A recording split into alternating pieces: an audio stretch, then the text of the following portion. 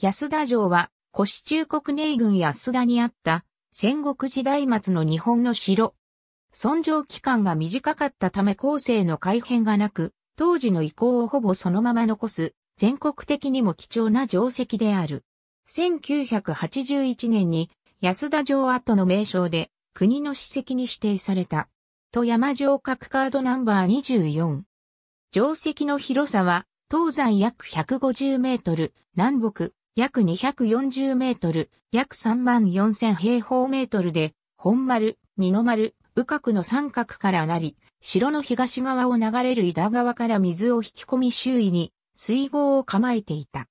軸線のずれや本丸を囲む水郷に一部が削られた宇角の形状から当初は二の丸、宇角の二角からなっていたものに本丸が追加造成されたものと考えられている。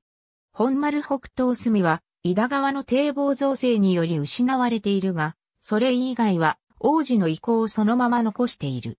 ことに、本丸は、東西約90メートル、南北約80メートルの方形であるが、その各規模に対し規定部長が約14メートルという非常に幅広の土塁を刺繍に備えるという得意な点がある。なお、本丸北東隅に櫓が設けられていたのではないかと推定されている。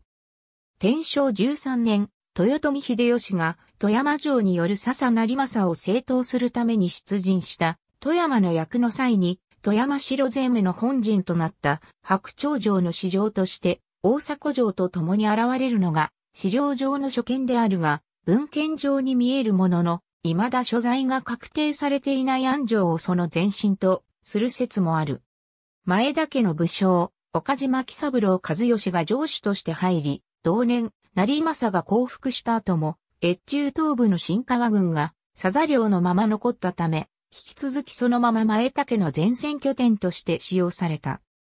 天正15年の成政天保に伴い、新川軍は、秀吉直轄領となり、安田城の役目は、一旦終わったものと考えられるが、慶長2年、前田と品川が森山城から富山城へ居城を移すと、岡島和義が片山延高と共にその市場としてはじめ白鳥城へ入り、その後再び安田城へ移った。慶長4年、前田利家死去により、年長は金沢へ帰還し、岡島和義もそれに従った。その後しばらく大官、平野三郎左衛門が居城したが、慶長年間には廃城となったものとされる。江戸時代に描かれた小津から江戸後期にはある程度姿を留めていたものと見られるが、近代に入ると水郷は埋まり定石一帯は田畑として使用されており、遺構は半然としなくなっていた。昭和40年代末に補助整備計画が持ち上がったことにより一時消失の危機に立たされたが、昭和52年と53年の2回にわたり発掘調査が行われ、小図に示されている通りの遺構が確認されたことから、県内有数の貴重な平地上官遺跡として保存が図られ、昭和56年に国の史跡に指定された。平成2年から4年にかけて整備事業が行われ、現在土塁、水郷が復元され、資料館が併設されている。AB 安田城跡文化遺産オンラインと山城郭カードが完成しました。砺波市公式 HP ハット、富山城各カード一覧。砺波市公式 HP、府中町教育委員会編著、史跡安田城跡環境整備事業報告書史跡等、活用特別事業、ふるさと歴史の広場。府中町教育委員会、1993年。ありがとうございます。